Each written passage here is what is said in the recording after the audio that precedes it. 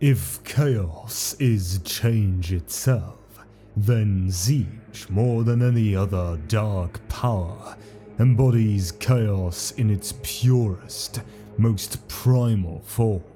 Therefore, no other god of chaos warrants more of our fearful respect, our tireless resistance, and our unflagging loyalty to the Emperor. From Inquisitor Gallianus Dirk at the Jellicoe Conclave, now declared Heretica Extremis. The psychic entity or sentient force in the immaterium known as Tzeentch is perhaps the most enigmatic of the so called Chaos Gods or Ruinous Powers. Tzeentch, the Changer of Ways, embodies mortals' desires for evolution, improvement, innovation, and progress, as well as their dreams of wealth, prosperity, and a better tomorrow. While many perceive these motivations as healthy, wholesome, and perhaps even necessary to mortal existence, Tzeentch, the great conspirator, works to corrupt the aspirations and ambitions of humanity and Xenos alike, and to leverage these hopes and dreams for its own nefarious ends. The other dark gods tend to act upon mortal society more directly. Khorne with bloodshed and slaughter, Nurgle with disease and decay, and Slaanesh with the allure of ecstasy and decadence. However, Tzeentch and its servants human, Xenos, and demon scheme and conspire quietly and stealthily to guide and influence the machinations of mortal society. The Changer of Ways favors subtle weapons, flattering words, enticing temptations, healthy ambitions stoked to traitorous or immoral ends, and above all, schemes within endless schemes. Many a politician, scholar, military officer, or other mortal leader has begun a promising career, altruistic project, or worthwhile intellectual investigation only to find themselves perhaps prompted by a seemingly well intentioned colleague who secretly served the great conspirator, making moral compromises, moving up the hierarchy at the expense of others, or taking ethically questionable shortcuts.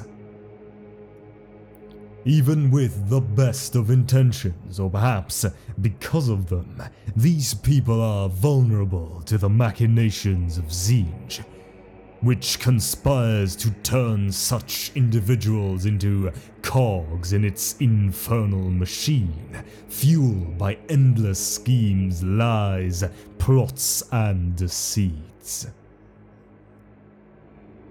And now, onto its manifestation. While the other dark gods adopt relatively fixed forms, much of the time, Tzeentch manifests in a multitude of guises. It is often referred to as a he, with the masculine gender, though, in fact, like all the entities composed of psychic energy called the Chaos Gods, it has no gender. The firmament surrounding Tzeentch is heavy with magic. It weaves like liquid smoke about its head, forming subtle and interwoven patterns. Forms of places and people appear in the smoke as Tzeentch contemplates their fate. Those who appear there will inevitably find their minds, bodies, or destinies mutating into strange new forms, for none can come to Tzeentch's attention and remain unchanged. Nonetheless, over the eons, certain traits have emerged in its appearance. Its associated iconography, the material presence of the god's demonic followers, and the nightmares its visage implants into the minds of those who witness it. Such descriptions often reveal it as a thin, lanky sorcerer, either male or female, in robes that continually change color. Its head hangs low beneath its shoulders, so that head and body are one, and its arms are long and spindly. From above its burning eyes spring two sweeping horns, the spiraling extremities of which crackle with arcane fire. Some description posit that Tzeentch's demonic skin is covered in faces and mouths that shift, slide, emerge, and are subsumed back into the unnatural flesh, crawling with constant change. They whisper secrets dark and terrible, leering at and mocking onlookers. As the Changer of Ways speaks, these faces repeat its words with subtle but important differences or provide a commentary that throws doubt upon the statements uttered by the entity's primary or natural mouth. Some of the Ordo Malleus's demon hunters, however, realize that these perceived consistencies, like so many things associated with the Great Deceiver, may constitute a ruse of one kind or another. After all, consistency is often part and parcel of the most convincing lies and confidence schemes. Although many have described Tzeentch in this way, others have portrayed the Dark God as multicolored smoke, crackling energy of an unknown type that burns or mutates the objects it touches, faces in mist, a writhing mass of fleshy protoplasm, and burning, dark tongue runes that hang in space and sear the very air, sometimes all within the same observation. Others show malformed birds, fish, or perverse hybridized versions of the two that swim through the air and fly through the sea. Indeed, birds and fish figure heavily in descriptions of Tzeentch, in the god's iconography, and in the shapes taken by many of its demonic and mutated mortal followers. For instance, Tzeentch's most powerful servants, the greater demons known as the Lords of Change, resemble giant humanoid birds. Its screamers and the discs that carry Tzeentch's champions to battle often appear as flying aquatic manta rays, tirelessly hunting through both the great ocean of the Empyrean and the air of real space like the legendary Carcharodons of primordial terror.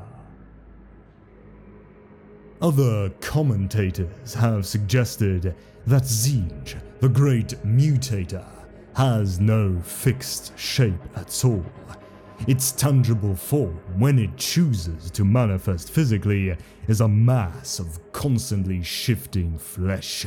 Thus, the constantly fluctuating material body of the Changer of Ways resembles many of its creations, such as the gods, demons, and its domain in the realm of chaos itself, which similarly has no stable form. Still others have posited that its physical forms are simply images that mortal minds create to try to perceive and understand something far more abstract, an agent of pure change, mutation, and flux. Such a form is more akin to metaphor than reality, and perhaps suits this Ruinous Power to a greater degree than eyes of flesh or metal could possibly capture. If some truth lies in this line of reasoning, then perhaps mortal minds have come to associate Tzeentch with birds and fish, creatures of air and water, respectively, because both of these animals inhabit fluid environments. Wind, tide, waves, temperature, turbidity, and bodies in motion constantly reshape the air and water in which these organisms live, making them fitting symbols for the changer of ways. As with much concerning the Great Changer, however, in the end all is conjecture and supposition.